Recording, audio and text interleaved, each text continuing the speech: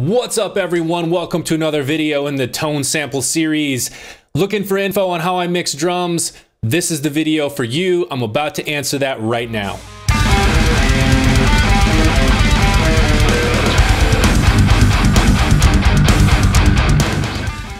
All right, let's jump into the DAW and take a look at how I mix these drums.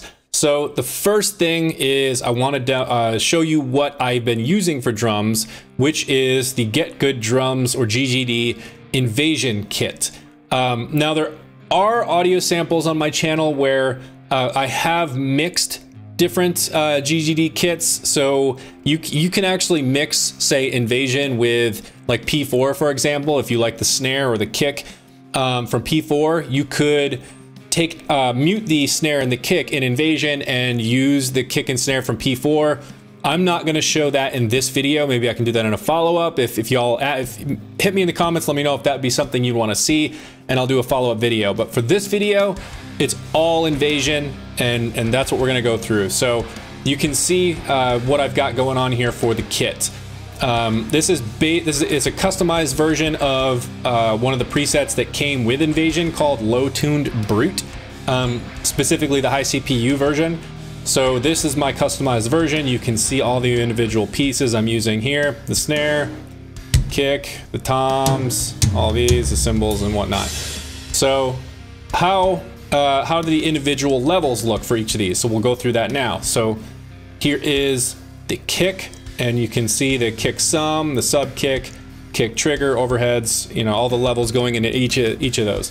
So take note of those, the snare, see the snare top, snare bottom, snare trigger, overheads, etc. Note all of those, as well as the spread is uh, up here as well. This kind of adds a stereo effect, kind of makes it sound well, more stereo, right? Like less mono right up the middle. It just kind of spreads it across both channels, gives it a wider sound.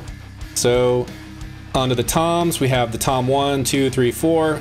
Um, and you can see how all of these are leveled as well as going into the overheads, rooms, room, room near, room, uh, room close, and room far. And the pan, note the pan, and as well um, the spreads.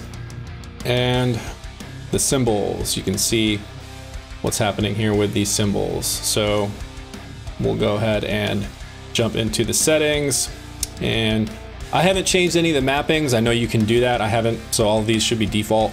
Uh, the cymbal mixer, I have adjusted some of these levels as well. And this is where you, where you can really kind of get fine grained um, with a lot of these. So you have the overheads, the room close, and the room far. And so if you are, if you feel like you're getting too much um, hi-hat, for example, in your overheads, you can pull that down.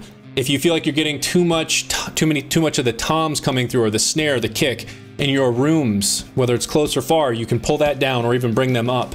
Um, so this is where you can really kind of get fine grained control over that. And then that is pretty much it for the kick and the levels in Kontakt. Uh, the last thing I will show is how I've routed these into tracks in the DAW. So right down here, and I'll show actually if you go to this icon right here and you click this uh, and then hit outputs, it will give you this output section here on the bottom of Kontakt. And then from here, you click the plus for the output. It'll ask you the number of channels, the quantity, how many you want to, uh, uh, how many outputs you want to create. And I have, I don't know what, there's like maybe 10 of them or so. Um, but then for these, you can then name each one individually. So whatever you want to name them, uh, kick, snare top, snare bottom, tom one, two, three, four, hi-hats, ride cymbals, overhead, room. Those That's how I have mine named. Uh, and then from there, once you have these outputs created, you can go into the individual um, indiv individual pieces of the kit. So here in the kick, and then you can select to route however you want to. Um, so you could even go even more fine grained than what I have and route the kick sum, the sub kick, the kick trigger, all to individual DAW channels uh, or tracks and, and adjust those everything from within your DAW without having to open up Kontakt. That felt overkill for me, so I just summed them all into one output into the DAW track. Um, and then if I need to adjust, say like the, the, the kick trigger or the sub kick, I can come into to Kontakt and uh, kind of adjust those levels there. And then the same thing goes for the overheads. You can route to the overheads, route to the rooms, etc. And that's the same across all of these tracks. So you can see snare top, snare bottom, um, etc. Right, and then toms one, two, three, four, cymbals. You can route those all individually, and then that's where things take over in your in your DAW. So we've talked about assigning the tracks. Now you can see the levels I have here in the DAW. Um, so you can see right here are all of the individual tracks, the kick, snare top, snare bottom, tom one, two, three, four, hi-hat, ride, cymbals, overheads, and rooms. And if you notice this little minus and plus sign down here, uh, right down here, if you, if you, obviously you're not gonna see this if you're setting up a new project for the first time after you've just routed all those individual tracks in Kontakt. So how do you get them into the DAW or how do you get them to show up here? Well, you're gonna click this little plus sign and you're gonna click that for each one of those tracks that you created in, in Kontakt. And then you'll be able to route them all uh, or, or, label them all specifically here um, based on the, uh, the output. So if you, if you notice, so right here it says Kontakt three and four, Kontakt five and six, Kontakt seven and eight, Kontakt nine and 10. So you can go open up Kontakt and see those outputs and see which, which channel that is or which uh, instrument that is, where the kick, snare, and then you can label it appropriately. And that's how you set things up here in your in your DAW. Um, that's a quick overview of, of, routing. There's a lot more detailed videos out on YouTube. I'll find one and link to it in the uh, description as well. Um, but that's just a quick overview of how to route things into the into the DAW. So the next thing is, uh, like I said, the levels, and you can see the individual levels that I have going on here. So starting from right here, this is my drum bus. So all of these individual instruments, if I close this, you can see they're all kind of like summed up in this in this bus. So expanding it shows all of the you know kick, snare, all the all of the individual pieces of the kick. And then you can see how I have all of the individual levels set here. All right, so that's how I set the levels for the individual tracks in the DAW. Now let's go ahead and take a look at the audio effects, things like the EQ, the compression, stuff like that. So first thing I will note is the, or I guess the first thing we'll start with is the kick. So looking at the kick, you can see, uh, let me bring this down so you can see it on the screen here.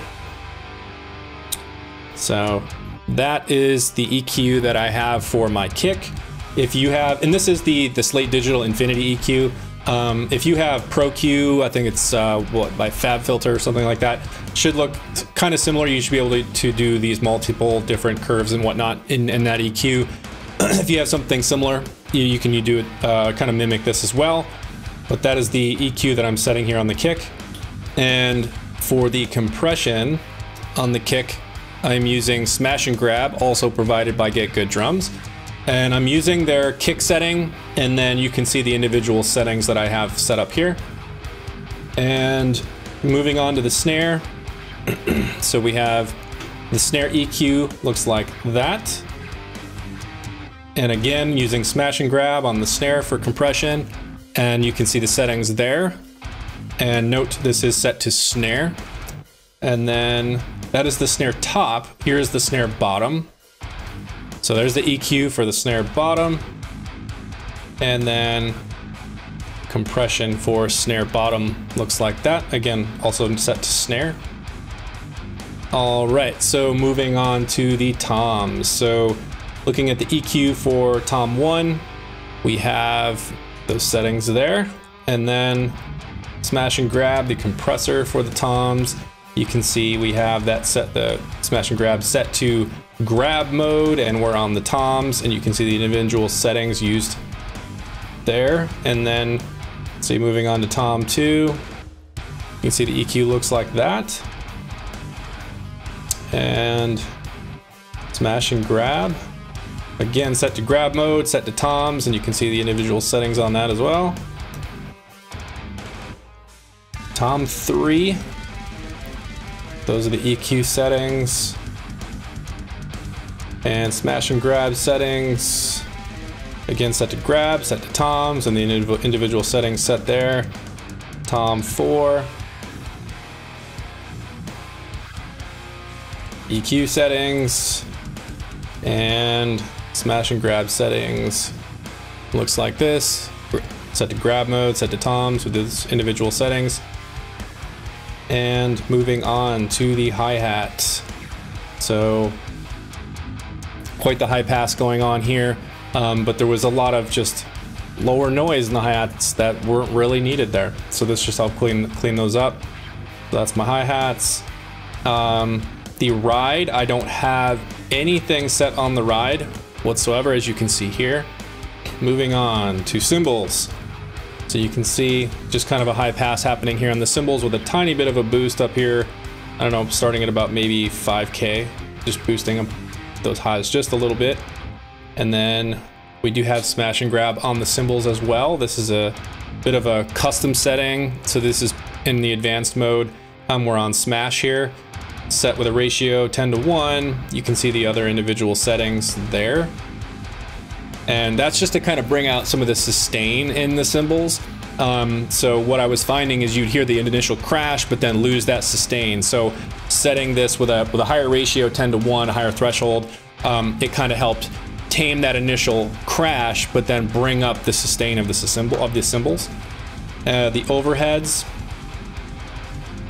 kind of somewhat of a similar EQ curve to the cymbals, um, boosting up here again about 5k up through 10 um, with the with the high pass happening there, and then uh, smash and grab, pretty much the same settings. If I if I'm not mistaken, they're almost exactly the same with the uh, with the cymbals. So there's the overheads. Then we have the rooms with this compression here and we are completely, as it says, smashing these rooms. Um, this again is to kind of just bring out that sustain happening in the rooms. Um, without this, you, would get those initial hits from the, the, the kick, the snare, the toms, the cymbals, you know, as you would hear in a room mic, but you lose that like beautiful sustain that happens in the room that just really kind of fills out the drums and makes them feel far less um, almost like like cardboardy or plasticky, right? It, it really fills in the mix. Um, so as we get into the audio in just a little bit, listening to these, I'll try to remember to come back and turn this off and turn it back on so you can really hear the difference in that sustain in the rooms. Okay, so that is the room. The other thing I want to note here is I am using, this is just the built-in stock um, Logic plugin for the stereo spread. Um, I add this to a couple places in the drums. I add it on the on the rooms and it's fairly subtle. Um, and I'll try to remember to demo this as well. Uh, and as, as, you can see, it is there is a low pass on here, so it this is not affecting anything below 680 hertz. Uh, so it's just kind of like the higher end, the, you know, the cymbals, kind of maybe a little bit of the snare, but like really mostly just the cymbals, um, uh, just to kind of like widen that sound even more. So there's that stereo spread happening.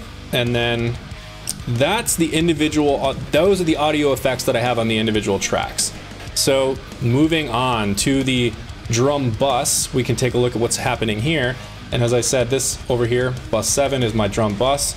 And we just have just a tiny bit of compression happening here on the bus.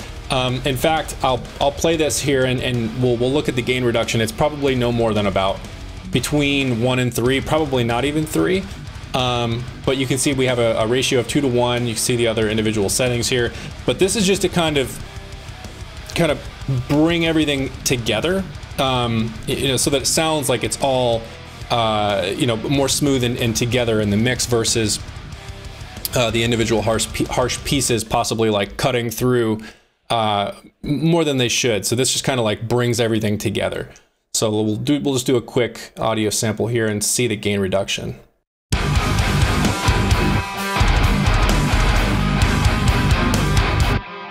So as you can see, it's kind of peaking out at, at minus one. So it's only really reducing at max like one dB, which is almost, you probably can't even hear it. Um, if I were to turn this off, you probably almost couldn't even tell. But again, it's just to kind of try and bring that all those drum pieces in the kit together, smooth out that sound. And the next thing is the parallel compression. Um, this is really kind of what adds a lot of the feel to to the drum sound in the mix. Um, it adds more punch, and we'll go ahead and take a look at what's going on here. So I'm gonna have to uh, change my screen just for a second so I can show you the drum bus. Uh, in fact, oh, I'm sorry, not the drum bus, the parallel compression. Actually, let me just close that up and I may be able to keep this zoomed in just like that. All right, so this is my parallel um, my parallel bus for the for the drums. Um, I will note uh, you're going to lose that here in just a second, but what I want to show you is you can see the bus sends happening right here on the kick, the snare top, the snare bottom, tom one, two, three, and four. Those are all being routed into this uh, parallel compression drum bus. So let's take a look at what's happening in this bus. So we have the uh, smash and grab. Let me pull this down so you can see it. We have smash and grab here, um, and you can see it's set to parallel mode. Um, and we'll go ahead and take a look and see what kind of gain reduction is happening here. If I do recall, it's pretty it's pretty harsh. We, as you can see, we are set to smash. Um, we're having we have the extreme enabled.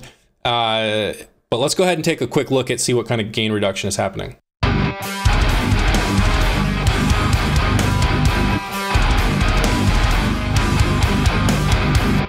Yeah, you can see it, it, it, almost looked like it was about to almost peak at like minus 10. Um, and that is on purpose. That is because I, I, I don't care about, you know, the transients and, and, and whatnot in this, in this drum bus.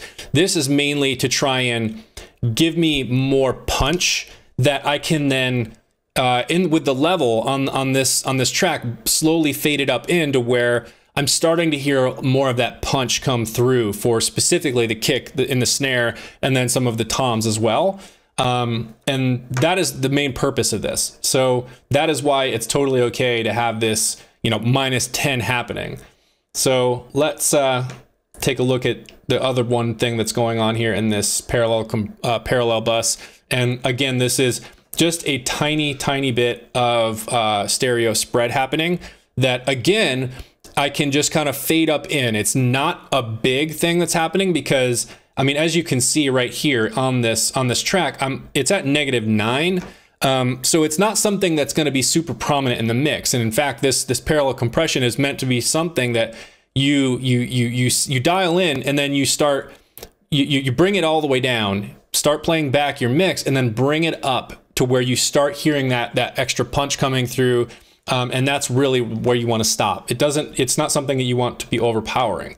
Um, so I'm going to go back and just kind of play this, and I'm going to pull the this down, and then I'll just play back and start fading it into where you can start hearing, and then I'll make it super loud so you can really hear it coming through.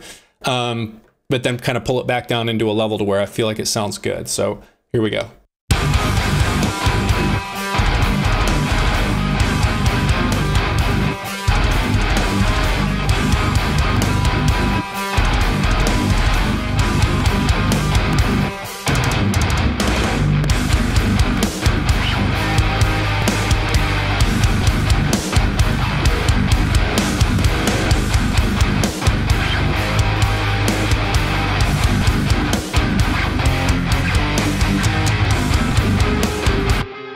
Yeah, so ended up right about the same place. Um, it just adds a little bit more punch into the mix, um, and with that stereo spread, just kind of helps somewhat provide a, a, a, fuller sound. So that is how I set up the the parallel compression or my parallel bus. Um, so let's go ahead and just listen to the drums soloed by themselves so you can hear kind of what they sound like. And here is what they sound like.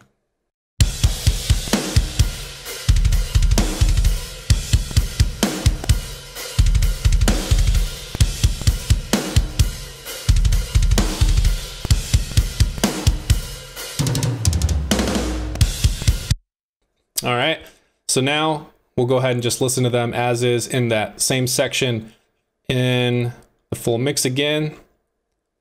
Here it is.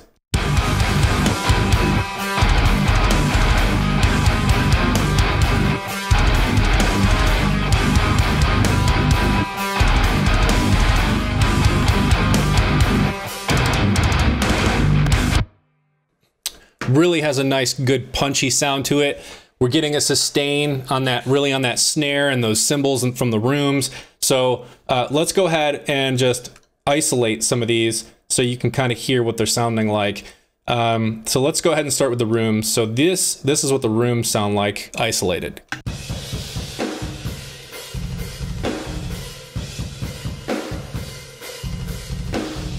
All right, so now I'm going to turn off the smash and grab compressor and the stereo spread, and this is what they sound like without those.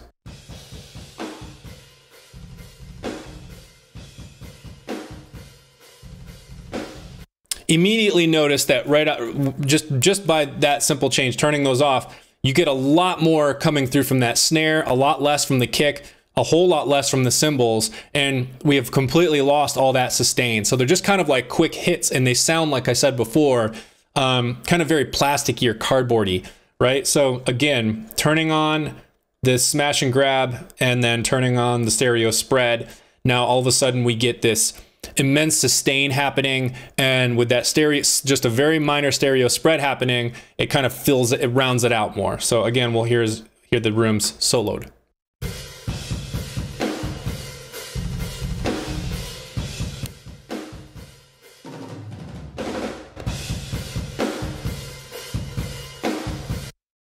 Okay, so that's the rooms. We'll go ahead and we'll do the overheads as well. So here are the overheads soloed.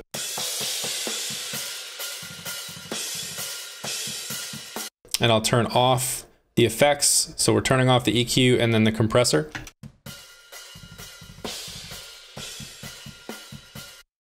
Again, you can hear how it just loses all that sustain. And again, with the effects enabled. See overheads. All right, everyone, that is it. That's how I put together the drums and my mixes you've been hearing on my channel recently.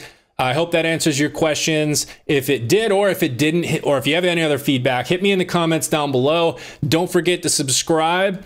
Uh, hit like and share, hit that bell so you're notified when I upload new videos. And as always, thank you for watching and thank you for your support.